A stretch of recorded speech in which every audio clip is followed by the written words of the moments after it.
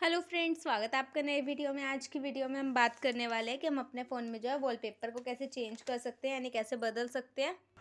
तो चलिए वीडियो को शुरू करते हैं। सबसे पहले अगर आप हमारे चैनल पर नए हैं तो चैनल को सब्सक्राइब और वीडियो को लाइक करना ना भूलें। जैसे कि आप देख रहे हैं हमारे पास यहाँ है आ, हमारे पास रियल मी का फ़ोन है। आपको ऊपर स्क्रॉल करने के बाद इस तरीके का आइकन दिख जाएगा आपको सेटिंग के आइकन पर जाना है।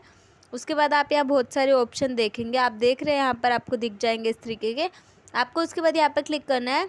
जैसे कि मैं दिखा दूँगी आपको होम स्क्रीन और लॉक स्क्रीन मैगजीन पर जाना है। आपको इस तरीके के आइकन जो है दिख जाएँगे, आपको यहाँ पर क्लिक करना होगा सेट वॉलपेपर के ऑप्शन पे।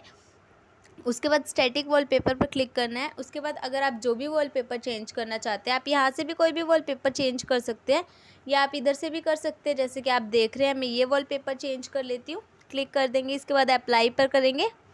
उसके बाद सेट पर क्लिक करेंगे, जिस भी स्क्रीन पर सेट करना है चेंज करना है, यानी उस पर क्लिक कर देंगे और आप देख रहे हैं इस तरीके से वॉलपेपर चेंज हो जाएगा। तो उम्मीद है फ्रेंड आपको वीडियो पसंद आई होगी। वीडियो पसंद आई है तो चैनल को सब्सक्राइब और वीडियो को लाइक करना ना भूलें। मिलते हैं नेक्स्ट वीडियो में, तब तक के लिए बाय बाय